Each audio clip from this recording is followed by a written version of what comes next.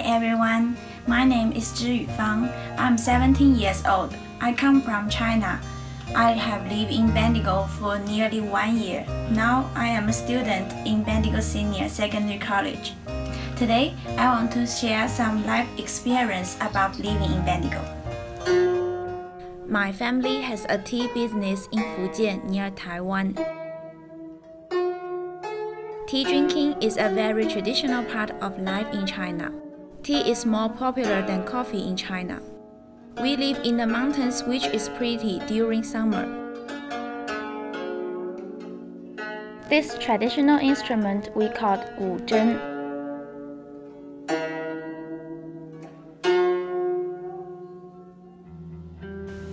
In China, I go to school at 6 o'clock in the morning and come back home at nearly 10 o'clock in the evening.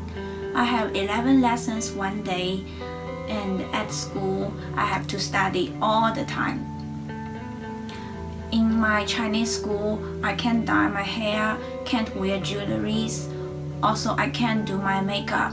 I have to wear school uniform every day, the big, ugly, and everyone looks same.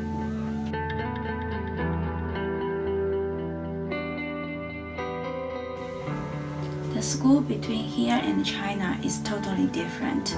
In here, I can pick up the subjects what I want to learn, not like China, I have to learn all the subjects. And uh, here I can use my smartphone and computer in the school, but in China I only just use the book.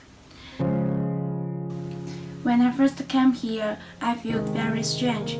Everything is unfamiliar, like different food, different weather, different language, and different culture. I was lonely and nervous. I missed my mom and friends very much.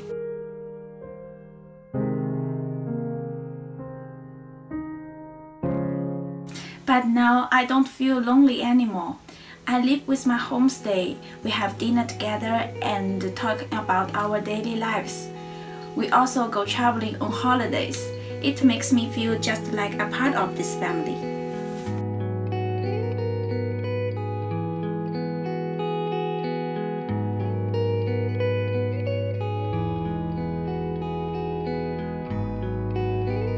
Here, after school, I got more free time. I can go to gym or shopping with my friends. It's easy to relax here because it is not crowded like big cities in China. Most of the people I have met here in Bendigo are very kind and friendly. People are interested in me and where I come from.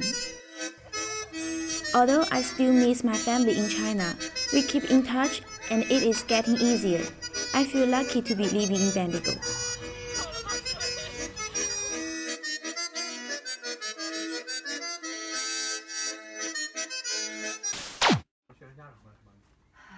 学生家长 上次那个男老师都给教会了，在旁边站着，哪个？